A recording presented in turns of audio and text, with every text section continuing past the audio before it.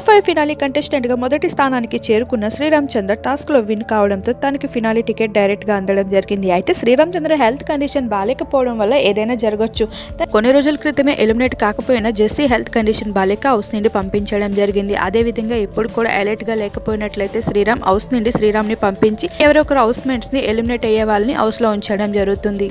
లేదంటే ఎలిమినేషన్ లేదు అంటూ శ్రీరామ్ని డైరెక్ట్గా హౌస్ నుండి పంపించే ఛాన్సెస్ కూడా ఎక్కువగానే ఉన్నాయి. కాబట్టి ఏదైనా జరగచ్చు బిగ్ బాస్ హౌస్లో ఇటీవల అన్ఫేర్ ఎలిమినేషన్ ద్వారా రవి వెళ్ళిపోయినట్లే. అన్ని అనుకున్నట్లే బిగ్ బాస్ హౌస్లో సాఫీగా వెళ్ళిపోయినట్లయితే ఈ వీక్ ప్రియాంక సింగ్ హౌస్ నుండి వెళ్ళిపోవడం జరుగుతుంది. అన్నిటికన్నా ఓటింగ్ పోల్లో చాలా లియెస్ట్ ఓటింగ్స్ ప్రియాంక సింగ్ కనిపించడం జరుగుతుంది. బిగ్ బాస్ హౌస్లో మొదటి ట్రాన్స్జెండర్గా హౌస్లోకి అడుగుపెట్టినప్పటికీ తన అందరితో ఉండే బిహేవియర్ తన చక్కటి మాటలు అందరిపైన తీసుకున్న కేరీకి ప్రతి ఒక్కరు ఇంప్రెస్ అవడం జరిగింది. కాకపోతే మానస్ విషయంలో కాస్త మైనస్ అయిందని చెప్పొచ్చు. తన గేమ్ తను ఆడుకుంటూ మైనస్ కోసం ప్రతిదీ సాక్రిఫైస్ చేసుకుంటూ వచ్చింది. మానస్ తనకి వీక్ పాయింట్ కాకుండా ఇప్పుడున్న దానికన్నా కాస్త స్ట్రాంగ్గా గేమ్ ఆడినట్లయితే టాప్ ఫైవ్కి తను చేరుకున్నట్లయితే మొదటి టాప్ ఫైవ్ ట్రాన్స్జెండర్గా రికార్డ్స్ బ్రేక్ చేసి ఉండేదేమో బిగ్ బాస్ హౌస్లో